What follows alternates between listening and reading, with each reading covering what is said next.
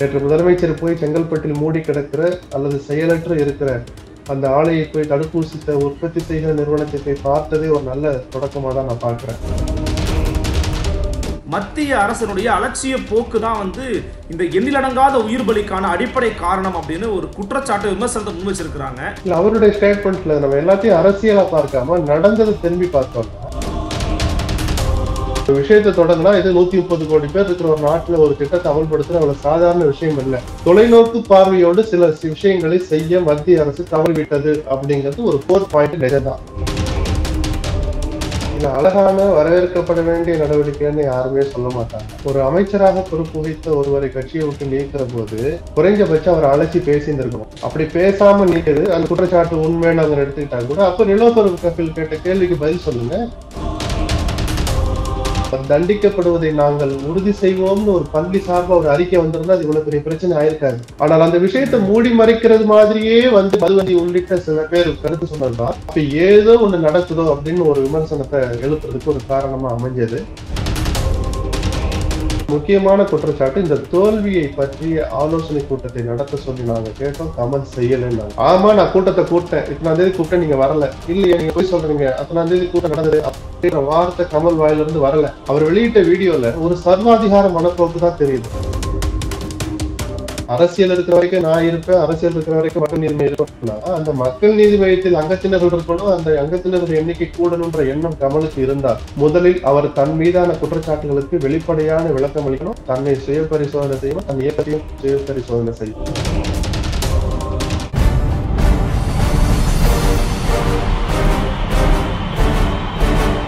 தமிழின் number one அரசியல் YouTube சேனலான ஆதன் தமிழ் நேயர்களுக்கு அன்பு வணக்கங்கள்.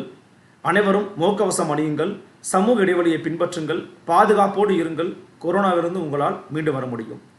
இன்று நம்முடைய குடிபறக்குது நேர்காணல் பகுதியில் நம்மோடு இணைந்திருக்கிறார் மூத்த ஊடகவியலாளர் மதிப்பிற்குரிய திரு எஸ்பி லட்சுமணன் அவர்கள். வாருங்கள் அவரோட ஒரு சிறப்பு குடிபறக்குது நேர்காணல் நிகழ்ச்சி. சார் வணக்கம் சார். வணக்கம். சார் சம் சமீபத்தில் நடந்த பல நிகழ்வுகள் குறித்து நம்ம தொடர்ந்து பேசியிருக்கிறோம். அதில் ரொம்ப முக்கியமான ஒரு சில விஷயங்கள் குறித்து இன்றைக்கி நான் உங்கள்கிட்ட பேசலாம்னு விருப்பப்படுறேன். அந்த அடிப்படையில் தமிழக அரசினுடைய இந்த கொரோனா தடுப்பு செயல்பாடுகள் பற்றி உங்களுடைய கருத்து என்ன? ஏன்னா தொடர்ந்து இப்போது வீடுகள் தோறும் தெருக்கள் தோறும் காய்கறிகள் கொண்டு போய் சேர்க்கணும் அப்படிங்கிறதுக்கான புதிய முயற்சிகள் எடுத்துட்டு இருக்கிறாங்க. தடுப்பூசி விவகாரம் குறித்து பரப்புரைகளை மேற்கொண்டுகிட்டு இருக்காங்க. எம்எல்ஏக்கள் எம்பிக்கள் முதலமைச்சர் வரைக்கும் திடீர் திடீர் என்ற ஒரு ஆய்வுகளை மேற்கொள்றாங்க. எப்படி பார்க்குறீங்க தமிழக அரசின் செயல்பாடுகளை? இந்த அரசு புதிதாக பொறுப்பேற்று பதினைந்து நாட்களை தான் கடந்திருக்கு. அது விமர்சன பார்வையோடு பார்க்க வேண்டிய அவசியம் இல்லை. என்ன பண்ணிட்டு இருக்காங்கன்னு எல்லாருமே பார்த்துட்டு தான் இருக்கிறோம். அமைச்சர்களுக்கு அவரவர்களுக்கு ஒதுக்கப்பட்ட இலாக்காக்களுக்கு பிறகு அந்த பொறுப்பை ஏற்ற பிறகு அந்த துறை சார்ந்த ஆய்வுக் கூட்டங்களை கூட நடத்தாமல் அவர்களுக்கு ஒதுக்கப்பட்ட மாவட்டங்களுக்கு போய் கொரோனா தடுப்பு பணிகளை இந்த முழு ஊரடங்கு அமலில் நடத்துகிற விதத்தை ஆய்வு செய்கிற அந்த பணியில போய் அவங்க செஞ்சுக்கிட்டு இருக்கிறாங்க. அந்த அளவுக்கு அரசு தன்னுடைய வேலையை செஞ்சுட்டு தான் இருக்கு. ஆனால் இந்த ஊரடங்கு காலத்தில் தடுப்பூசி போடுகிற பணியை மிக வேகமாக ஒரு முழு வீ- வீச்சில் நடத்துவதற்கான சூழல் இருந்தும் கூட அதை நடத்த முடியாத அளவுக்கு தடுப்பூசி பற்றாக்குறை நிலவுது. இதை மத்திய அரசு மாநில அரசுகள் சேர்ந்து உயர்நீதிமன்றத்தில் நடந்த ஒரு வழக்கிலேயே ஒப்புக்கொண்டு விட்டார்கள். அப்பதான் சென்னை உயர்நீதிமன்றம் கூட இது எங்களுக்கு ஏமாற்றம் அளிக்கிறது அப்படிங்கிற வார்த்தையை அவங்க சொல்லியிருக்கிறாங்க. அதாவது தடுப்பூசி மாநிலங்களுக்கு பகிர்ந்தளிக்கிற விதத்தில் எங்களுக்கு மிகுந்த ஏமாற்றம் இருக்குது. அதற்காக அவர்கள் செய்கிற கணக்கீடுகள் சரியாக இல்லை அப்படின்னு சொல்லிக்கிறாங்க மக்கள் தொகைக்கு ஏற்பதான் ஒரு மாநிலத்துக்கு தடுப்பூசி ஒதுக்கப்படுகிறது அப்படின்னு மத்திய அரசுடைய வழக்கறிஞர் சொன்னபோது அது ஏற்புடைய நடைமுறைக்கு ஏற்றதல்லங்கிற வார்த்தையை சொல்லியிருக்கிறாங்க. ஒரு மாநிலத்தில் பரவல் எவ்வளவு வேகமா இருக்கு எத்தனை உயிர் பலிகள் இருக்குங்கிறதெல்லாம் பார்த்துட்டு தான் ஒதுக்கணுமே தவிர வெறுமனே ஒரு மக்கள் தொகை மட்டும் பார்க்கலாம்னு அதை சொன்னாங்க. இந்த வழக்கு பிறகாவது நமக்குரிய பங்கீடு ஒதுக்கீடு கிடைத்தால் அது பரவலாக மாநிலம் முழுக்க கிடைக்கிற வேலையை மாநில அரசு உறுதிப்படுத்தணும். மற்றபடி தடுப்பூசி நாமளே தயாரிக்கிறதுக்கான வேலைகளை தமிழ்நாடு அரசு ஆர்வம் காட்டுவதாக தெரிகிறது. நேற்று முதலமைச்சர் போய் செங்கல்பட்டில் மூடி கிடக்கிற அல்லது செயலற்று இருக்கிற அந்த ஆலையை போய் தடுப்பூசி உற்பத்தி செய்கிற நிறுவனத்தை போய் பார்த்ததே ஒரு நல்ல தொடக்கமா தான் நான் பார்க்கிறேன்.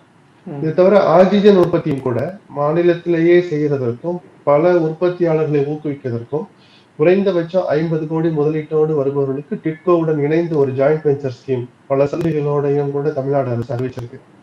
இதெல்லாம் நாளைக்கே பலன் கொடுத்துரும் அப்படின்னு இல்லை. ஆனால் ஒரு நீண்ட கால திட்டத்திற்கான தொடக்க புள்ளியை நல்ல விதமாக நல்ல இடத்தில் முதலமைச்சர் ஸ்டாலின் வைத்திருக்கிறார் என்பதை யாரும் மறுக்க முடியாது.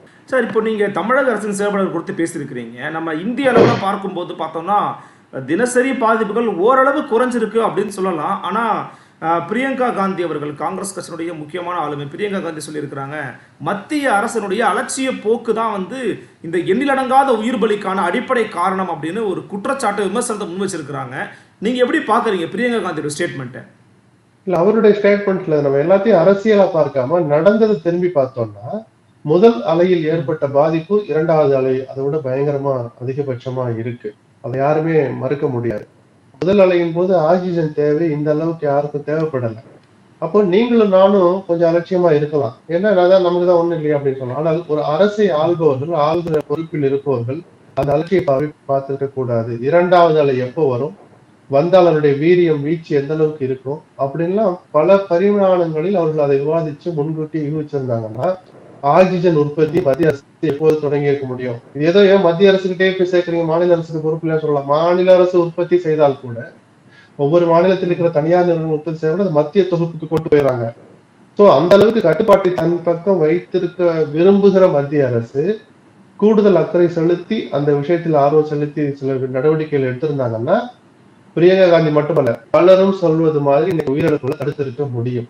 அந்த வகையில அந்த அலட்சியமா. இருந்தாங்கன்னு சொல்றீங்களா? நீங்களும் அலட்சியமா இருந்தாங்கன்னு சொல்றீங்களா மத்திய அரசு? இல்ல அது அலட்சியம்னு அரசியல் ரீதியாவே பார்க்க வேணாம் சார். நடந்து பிராக்டிகலா பாருங்க. ஆக்சிஜனுக்கு இன்னைக்கு அலையிறமே இது எதனால? சொல்லுங்க.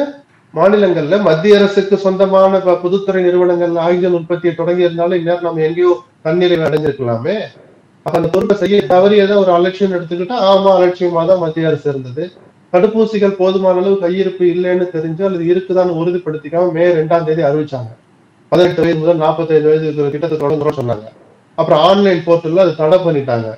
நேரா ஒருத்தன் ப- இருபது வயசுக்காரன் ஒருத்தன் நேரா கிளினிக் போனான்னா அந்த ஆரம்ப சுகாதார நிலையத்துக்கோ தனியார் மருத்துவமனைக்கு போன அந்த ஆதார் கார்டை பார்த்துட்டு அதை நம்ம அப்லோடே பண்ண முடியல. என்ட்ரே பண்ண முடியல. உங்களுக்கு இன்னும் தடுப்பூசிக்கான அனுமதி இல்லை சாருங்கிறாங்க அப்ப எதுக்காக அந்த திட்டத்தை தொடங்குறீங்க? இதெல்லாம் முடிஞ்சு இல்லைன்னு தெரிஞ்ச பிறகு மூணு நாள் முன்னாடி திருப்பி நீங்க ஆன்லைன் ரெஜிஸ்ட்ரேஷன் தொடங்கலாம்னு சொல்லியிருக்கிறாங்க. நான் தப்பு சொல்லல.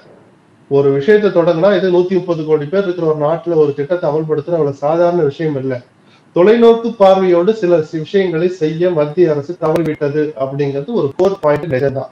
சார் இப்போ நம்ம இன்னொரு பக்கம் பார்க்கும்போது இப்போ நீங்க கொரோனா குறித்தும் பேசிட்டீங்க. தமிழக அரசு மத்திய அரசு நிலைப்பாடு குறித்து நம்ம பார்த்துட்டோம்.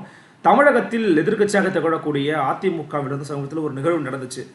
முன்னாள் அமைச்சர் வந்து அடிப்படை உறுப்பினர் பதவியிலிருந்து நீக்கப்பட்டிருக்காங்க நிலோஃபர் கஃபீல் அவங்க. அதுக்கான காரணம் என்ன சொல்லியிருக்கிறாங்கன்னா லஞ்ச ஊழல் புகார் அவங்க மேலே இருக்குது அவங்க கிட்டத்தட்ட பல கோடிக்கும் மேலாக வந்து வேலை வாங்கி தருவதாக ஏமாத்தி இருக்கிறாங்க அப்படிங்கிற விஷயம் வெளியே வந்துச்சு அதனால் நீக்கியிருக்கிறோம்னு சொன்னாங்க. அதன் பிறகு அவர்கள் சைட்லேருந்து பேசும்போது எடப்பாடி பழனிசாமி அவர்கள் மீது கூட தான் புகார்கள் இருக்குது ஊழல் லஞ்ச விஷயங்கள் இருக்குது அப்படிங்கிற மாதிரி அவங்களோட ஒரு பதில் குற்றச்சாட்டு வைக்கிறாங்க. இது ஒரு எதிர்க்கட்சியாக இருக்கக்கூடிய ஒரு கட்சிக்கு இது அழகுதானா? அதிமுகவுடைய இது போன்ற செயல்பாடுகள் நீங்க எப்படி மதிப்பீடு செய்யறீங்க இது அழகான வரவேற்கப்பட வேண்டிய நடவடிக்கைன்னு யாருமே சொல்ல மாட்டாங்க. ஆனால் ஒரு அமைச்சராக பொறுப்பு வகித்த ஒருவரை கட்சியை விட்டு நீக்கிற போது குறைஞ்சபட்சம் அவர் அழைச்சி பேசியிருந்திருக்கணும். அப்படி பேசாம நீக்குது அந்த குற்றச்சாட்டு உண்மைன்னு அவங்க எடுத்துக்கிட்டாங்க கூட அப்ப நிலோபர் கபில் கேட்ட கேள்விக்கு பதில் சொல்லுங்க. உங்க மேலேயும் ஆயிரக்கணக்கான கோடி ரூபாய் லஞ்ச ஊழல் வழக்கு இருக்கு. கவர்னர்கிட்ட போய் கொடுத்தாங்க. லஞ்ச ஊழல் துறையிலேயே வழக்கு பதியப்பட்டு விசாரணை நடந்துச்சு பல அமைச்சர்கள் மேல அப்ப அவங்களெல்லாம் நீக்கிறதுக்கு ஏன் துணிச்சல் வரலன்னு அவர் கேட்கிற கேள்வி நியாயமான கேள்வி. அடிப்படை முகாந்திரம் உள்ள கேள்வி. அதற்கு எடப்பாடி இருந்து ஓபிஎஸ் வந்து பதிலே இல்லை. அது அவசரப்பட்டு எடுத்த நடவடிக்கை நான் பாக்குறேன் நிலோபர் கவில் தவறு செய்திருந்தால் அவர் மீதான சட்ட ரீதியான நடவடிக்கைகளுக்கு அதிமுக துணை இருந்திருக்கணும் அதை யாருமே மறுக்கல. அது வழக்கு நடக்கட்டும் விசாரணை நடக்கட்டும். ஆனா கட்சியை விட்டு நீக்குவதற்கு முன்பாக அவர் அழைத்து பேசியிருக்கணும். அப்படி பேசாதது தவறுதான். இல்ல என்னோட கேள்வி என்னன்னா ஒரு கட்சியை விட்டு ஒரு நபர் வெளியில போறாங்க அப்படின்னா அவங்க கட்சியின் மீதும் கட்சியினுடைய தலைமையின் மீதும் புகார் தெரிவிப்பதுங்கிறது ரொம்ப ஒரு வாடிக்கையான விஷயம் தானே. அதை வந்து சீரியஸா எடுத்துக்கணும் அப்படிங்கிற அவசியம் இருக்கான்னு நான் கேட்குறேன் நிலப்பர் கபில் அவங்களா வெளியே போகல சார்? நீங்க கட்சியை விட்டு நீக்குறீங்க. நீக்கிறீங்கன்னா அதை பத்தி கேள்வி கேட்கிற உரிமை அவருக்கு இருக்கு. அவர் வெளியே போற போது தூத்து ஒரு இதாவது சொல்றது தவறான ஒரு குற்றச்சாட்டுகளை அல்லது வாய்க்கு வந்தபடியெல்லாம் அவர் தூட்டிட்டு போனார்னா நீங்க கேட்கிற கேள்வி நியாயம். அவர் அவரை வெளியே போகலையே. நீங்கள் கட்சியை விட்டு நீக்குறீங்க. அப்ப அவர் சில கேள்வி கேட்டா பதில் சொல்லுங்க. அவர் கேட்ட கேள்விக்கு என்ன இன்னைக்கு வரைக்கும் எடப்பாடி என்ன பதில் வந்திருக்கு? அவர் மீதும் அவர் அமைச்சரவை சகாக்கள் சுமார் பத்து பேர் மீதும் ஆளுநர் கொடுக்கப்பட்ட புகாரை பத்தி நீங்க என்ன நினைக்கிறீங்க? என் மீது நீக்கப்பட்டதுக்கு காரணம் இந்த புகார் தான்னா? இந்த வழக்கு பதிவு பண்ணல. விசாரணை நடக்கல. நிலோபர் கபில் குற்றவாளின்னு சொல்லல தண்டிக்கப்படல. இவ்வளவுக்கு முன்னாடி அவர் நீங்க கட்சி விட்டு நீக்கிறீங்கன்னா அப்போ உங்கள் மீது என்ன நடவடிக்கைன்னு அவர் கேட்கிற கேள்வி நியாயம்னு நான் சொல்லலாம். சார் இப்போ தமிழக அளவில் நம்ம பல விஷயங்களை குறித்து நம்ம தொடர்ந்து பேசியிருக்கோம். இந்த சமீப நாட்களில் ரொம்பவே தீவிரமாக பேசப்பட்ட ஒரு விஷயம். நீங்களே பல முறை வந்து பெண்கள் கல்வி சார்ந்து பெண் குழந்தைகளுடைய கல்வி சார்ந்து நீங்கள் நிறைய விஷயங்கள் நம்ம நிகழ்ச்சியிலே பகிர்ந்ததன் காரணமாக இந்த பிஎஸ்பிபி பள்ளி விவகாரம் நீங்கள் கேள்விப்பட்டிருப்பீங்க. பத்மசரத்து பள்ளி விவகாரம். இந்த விவகாரத்தை கேள்விப்பட்ட உடனே உங்களுடைய மனநிலை எப்படி இருந்துச்சு? இதை ஒரு ஊடகவியலரா ஒரு சமூக ஆர்வலராக நீங்கள் எப்படி பார்க்குறீங்க? இல்ல சார் இதுக்கெல்லாம் பெரிய ஊடகமான பின்னணி எல்லாம் தேவையில்லை சார். ஒரு மனசாட்சியில் எந்த மனுஷனையும் பாதிக்கிற விஷயம்தான். நம்ம வீட்டு பிள்ளைங்க அந்த இடத்துல இருந்திருந்தா என்ன மாதிரி நம்ம பிடிச்சு போயிருப்போம் அப்படிங்கிற அந்த உணர்வு தான் எல்லாருக்கும் வரும் வந்தது. எனக்கும் நானும் அதுக்கு விதிவிலக்கு கிடையாது. ஆனால் அந்த சம்பவம் நடந்து அதை பத்தின ஒரு வழக்கு பதிவு செஞ்சு ஒரு விசாரணை தொடங்குறதுக்கு முன்னாடியே சமூக வலைதளங்கள் வந்த வாத பிரதிவாதங்கள் விமர்சனம் பதில் விமர்சனங்கள் தான் அருவருக்கத்தக்க வகையில் இருந்தது. ஒரு ஒரு தனிநபர் ஒரு ஆசிரியரோ ஒரு ஊழியரோ ஒரு நிறுவனத்தினுடைய ஊழியர் தப்பு செஞ்சா அந்த நிறுவனத்தை அந்த நிறுவனத்தை நடத்துகிற உரிமையாளர்களுடைய சமூகத்தை குற்றம் சொல்றது தப்புதான். அதை அதை யாருமே சரின்னு சொல்ல மாட்டாங்க. ஆனா அந்த தவறு செய்த ஆசிரியர் தவறு செய்தாரான்னு பாக்குறதுக்கு ஒரு அவகாசம் கொடுத்து வழக்கு பதிவு பண்ணணும். அதுக்கு நாங்க துணையா இருப்போம். அவர் தவறு செய்திருந்தால் அவர் தண்டிக்கப்படுவதை நாங்கள் உறுதி செய்வோம்னு ஒரு பள்ளி சார்பா ஒரு அறிக்கை வந்திருந்தா அது இவ்வளவு பெரிய பிரச்சனை ஆயிருக்காது. ஆனால் அந்த விஷயத்தை மூடி மறைக்கிறது மாதிரியே வந்து மதுவந்தி உள்ளிட்ட சில பேர் கருத்து சொன்னதுதான். அப்ப ஏதோ ஒண்ணு நடக்குதோ அப்படின்னு ஒரு விமர்சனத்தை எழுப்புறதுக்கு ஒரு காரணமா அமைஞ்சது. அது ஒரு துரதிருஷ்டவசமான ஒரு விஷயம்தான். ஒரு குற்றம் இது மாதிரியான ஒரு குற்றம் செய்கிற போது அந்த நபருடைய பேரோ ஒரு சார்ந்த சமூகமோ இதெல்லாம் வழியில வரவே கூடாது. குற்றம் குற்றம் தான் அது தவறுக்கான தண்டனையை வாங்கி தர்றது பொறுப்பு எல்லோருக்குமே இருக்கு. அப்ப அடுத்தடுத்து வந்தது என்ன? இவர் இப்ப முதல் முறையா தப்பு செய்யல. தொடர்ந்து செஞ்சாரு. நாங்க சில முறை புகார் கொடுத்தோம். அத பள்ளி நிர்வாகம் கண்டுக்கலன்னா அதுக்கு உரிய பதில சொல்லணுமே தவிர அதை மூடி மறைக்கிறது மாதிரியே சில பேர் முன்னாடி வந்த போதுதான் பள்ளி மீதே அந்த குற்றச்சாட்டு திரும்பிச்சு. மற்றபடி அந்த பள்ளி மேல குற்றம் சொல்லணும்னு யாருக்கும் அவசியம் கிடையாது. இல்ல இப்ப மதுவந்தி அவர்களே கூட பாஜகவை சேர்ந்த மதுவந்தி அவர்கள் பேசும்போது இது வந்து தவறுதான். இதை இது வந்து நாங்க வந்து கடுமையா கண்டிக்கிறேன்.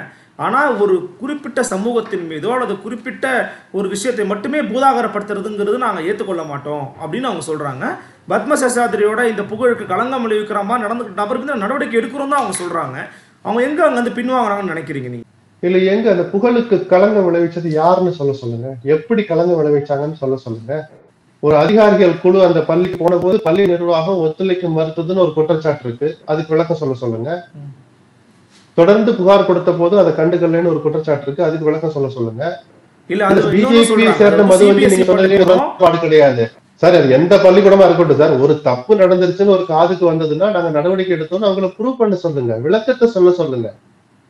அது பிஜேபி சேர்ந்த மதுவந்தி நீங்க சொன்னதுல எனக்கு உடன்பாடு கிடையாது. அவங்க எந்த கட்சி வேணாலும் எடுத்துட்டு போட்டு சார் எந்த சமுதாயம் வேணாலும் எடுத்துட்டு போட்டு சார் அந்த பள்ளிக்காக பள்ளியின் சார்பாக சில கருத்துக்களை அவர் முன்வைக்க வராருன்னா இந்த குற்றச்சாட்டுகளுக்கான விளக்கம் தர வேண்டிய கடமையும் அவருக்கு இருக்கு. அதைத்தான் நான் சொல்ல வந்தேன். கமலஹாசன் அவர்களுடைய இந்த கட்சியில பார்த்தீங்கன்னா மூத்த ஐஏஎஸ் அதிகாரிகள் நிறைய பேர் இடம்பெற்றிருந்தாங்க.